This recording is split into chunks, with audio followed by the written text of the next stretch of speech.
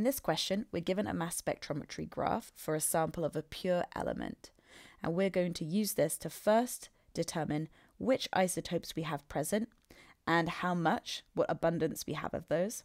We're then going to use this to calculate the average rel relative atomic mass for the element in this sample. And then finally, we'll use our periodic table to figure out which element is in this sample. Okay, so first, let's figure out the atomic mass of our isotopes and their relative abundances from the graph. So our first bar on our graph here has atomic mass 10.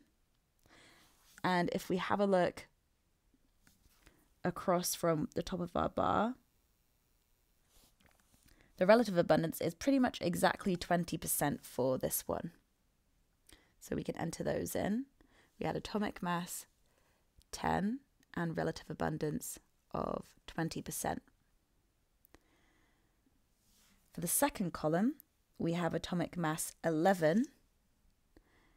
And for the relative abundance, we have pretty much exactly 80%.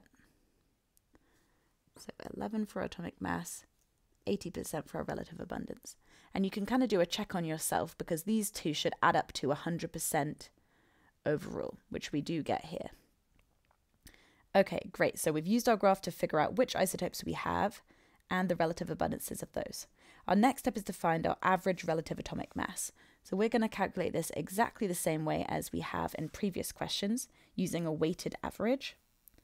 So to get our average, we're not just going to add up the two isotopes 10 and 11 and divide by 2 because that would get us a regular average. We need a weighted average. So we're going to take our isotope 10 and multiply it by its relative abundance, which is 20. And we're going to add to that our second isotope, which has an atomic mass of 11, and multiply that by its relative abundance, which is 80%. And finally, we're going to divide all that by 100%. So again, you can see we've got our weighted average here, which calculates based upon how much of each one we have.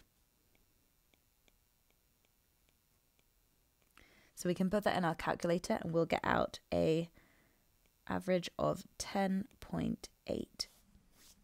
So I'm going to enter that in my answer box now. Okay, so our last step is to have a look at our periodic table and figure out which element we have shown here.